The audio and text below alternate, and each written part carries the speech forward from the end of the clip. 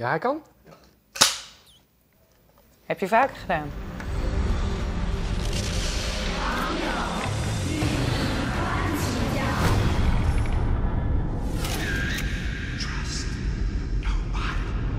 Rick, hoe is het met je? Goed. Wat doe je allemaal? Nou, we zijn op dit moment een grote eh, ontknoping aan het voorbereiden in eh, het Vondelpark in Amsterdam. Van Wie is de Mol? En dat kost natuurlijk eh, ja, de nodige voorbereidingen. Wie is de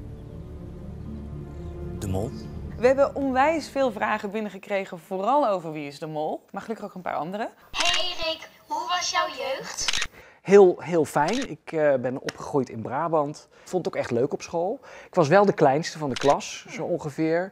Dus ja, dan, dan eh, nou ja, je wordt er niet echt mee gepest, maar Geklierd. je, je bent wel de kleinste. Wil je ook eens een keer een beurt krijgen eh, met, met spelletjes of met sport of zo, dan moet je een beetje een grote mond hebben. Dus ik heb wel ervoor gezorgd dat ik een beetje voor mezelf kon opkomen. Ja, je hoort wel eens vaker dat als je wat, wat kleiner bent als kind, dat je wat meer bewijsdrang misschien wel hebt. Ja, Heb ik denk dat dat, wel, ik denk dat dat wel een beetje meespeelt. Kijk, als Ja. alles maar vanzelf naar je toe komt Mm. in het leven, dan eh, leer je eigenlijk niks. Wat is jouw gro- grootste blooper bij het journaal? Eh, mijn grootste blooper van het journaal. De eerste is, kan ik het zeggen? Eh, zal ik die je oor vertellen? Ja.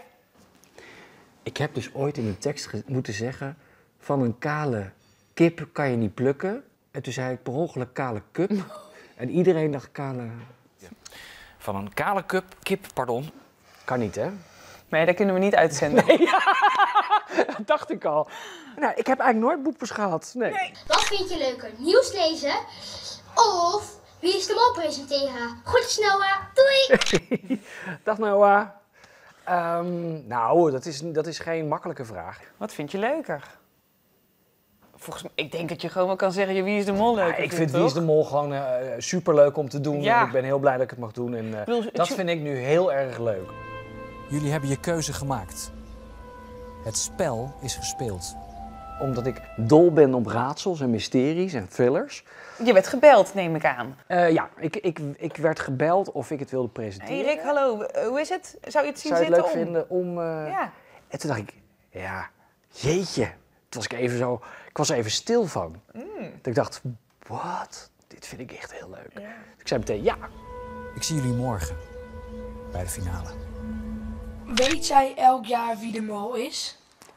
Doei doei. Doei doei. Ehm, ik wist vorig jaar, eh, met Merel wist ik het niet.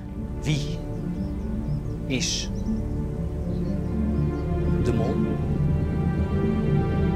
Dit jaar weet ik het wel. Natuurlijk, ja. Maar jij weet het gewoon. Ik weet het. Nou, volgende. Wie is de mol? Hele goede vraag. Had je hem verwacht? Tuurlijk. Ja. Over zes dagen weet jij het ook. Maar je weet het. Ik weet het en over zes dagen weet jij het ook en iedereen. Leuk hè? Als iedereen het weet, is de lol er vanaf. Snap je? Ja, Maar Ook voor mij. verspreek je je dan? Ben je niet bang dat je je verspreekt? Of dat Ik je ben, ik ben elk moment ben ik bang dat ik me verspreek. Elk, nu ook. Ook. Ik zit nu iedere keer als ik wat zeg, dan denk ik tussen, zeg ik niks geks, zeg ik niks geks. Mijn vriend bijvoorbeeld weet niet wie het is. Hij probeert dan wat, dan roept hij een naam. Ik Ja. vond dat die en die wel heel gek deed. Ja. Dan gaat hij zo kijken wat ik dan zeg of wat ik dan doe. En dan zit ik gewoon eh, een beetje neutraal te kijken. Hoi Rick, hoe kan jij zo serieus kijken bij de test en executie? Doei! Ja, want dat doe je goed, hè? Dan zit je daar achter die laptop. Leonie, Ja, maar het is ook een, het is ook een heel serieus moment. We gaan iemand naar huis sturen. Dat is niet leuk, maar het moet wel gebeuren. Je moet sowieso wel als presentator, ja, nu doe je het ook een beetje, die mysterieuze blik. Ja, maar het hoort moet je ook erbij. wel hebben. Tuurlijk. Heb ja. je die veel geoefend voordat je deze job Nee. aangeeft? Niet in de Ik spiegel. kijk zoals ik kijk. De... Nee. Hoi Rick, ik, ik kijk heel graag wie is de mol Oh, met wat mijn leuk. familie. Ik heb al een beetje vermoeden wie de mol is. Ha- heb je misschien een tip hoe je een beetje kan opletten wie de mol is? Doei! Ja, want Doei. help die kinderen een beetje. Want we willen allemaal gaan weten Ja. wie is de mol. Nou, ehm, probeer bij elke opdracht te bedenken wat jij zou doen als mol. Wat zou een goede plek zijn als mol? Ehm, wat zou een goede actie zijn als mol? Probeer dat eens te bedenken en dan kijken wie het doet. En misschien vind je hem dan. Je kan niks zeggen, een laatste keer, laatste poging. Laatste lips are sealed.